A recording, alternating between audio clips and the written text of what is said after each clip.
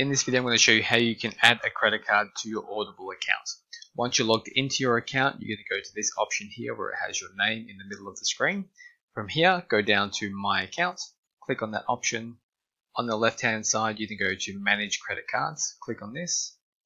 And from here, just go down to where it says here Add Card, click on this, and then you'll be able to add a new card to your account. If you found this helpful, make sure you like and subscribe for more.